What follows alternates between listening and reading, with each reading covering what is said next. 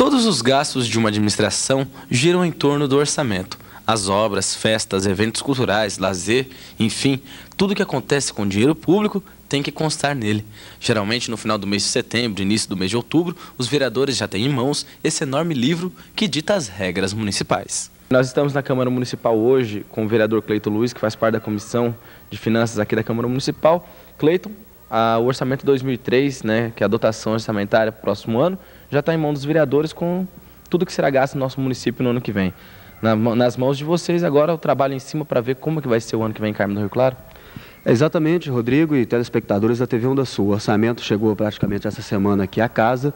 Eu, como presidente da Comissão de Finanças, eh, estou incumbido aí juntamente com os companheiros Moacir Passos e José Vicente a orientar aí a casa né, e a população no que diz respeito ao orçamento para 2003, que é na ordem de 12 milhões 686 mil reais. Isso é incluindo, né, é, dentro desse montante, 614 mil que é para a Câmara Municipal. No próximo ano, em 2003, as entidades e fundações terão apoio direto do município. No turismo, mais ou menos 34 mil reais. Cultura, 91 mil, onde inclui as festividades carnavalescas, teatro e até artesanato. Será gasto no esporte no ano 2003 a quantia de 1 milhão e 128 mil reais.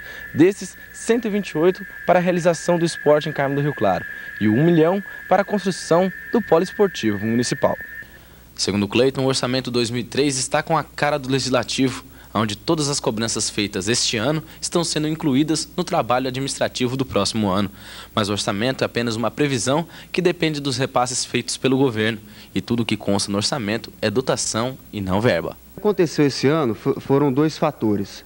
O primeiro, a queda da arrecadação que o executivo está argumentando, né? como a ICM, enfim, outras coisas. Então, houve uma queda da arrecadação.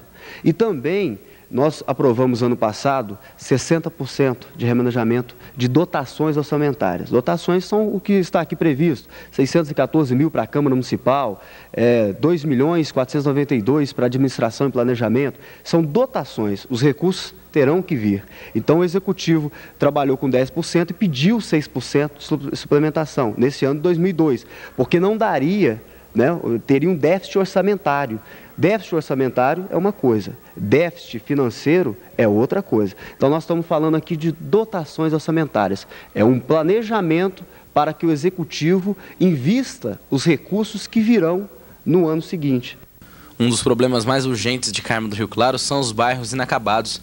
E este é o momento em que o povo deve procurar o seu representante, o vereador, para solucionar os problemas. Os bairros podem procurar, mas já foi feito, de acordo com a LDO, nós fizemos a, LDO, que é para realizar o orçamento, e está prevendo melhorias para todos os bairros inacabados da cidade. Eu estou dando um exemplo, tá?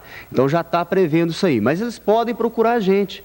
As entidades também que fazem trabalhos aí é, filantrópicos da, de Rio Claro, podem procurar a partir é, de hoje. Nós estamos aqui na Câmara. Eu estou sempre de manhã, toda manhã, a partir das nove da manhã, estou na Câmara aqui. Os companheiros também é, estão à disposição aí para receber emendas para que a gente possa colocar no orçamento. O orçamento, segundo o Cleiton, é um trabalho democrático. Este é o momento em que o povo deve procurar o seu representante para que ele consiga os benefícios que a comunidade precisa. Ele nos disse que é importante o diálogo entre o povo, o vereador e o prefeito para que a benfeitoria seja concluída. Tem que ter esse diálogo para que o executivo possa realmente estar tá executando o orçamento para o outro ano. Então não é só colocar. Pode-se colocar aqui, por exemplo, 300 mil reais para a melhoria do bairro Jacuba. Mas essa dotação pode ficar aqui durante todo o ano e não ser mexida.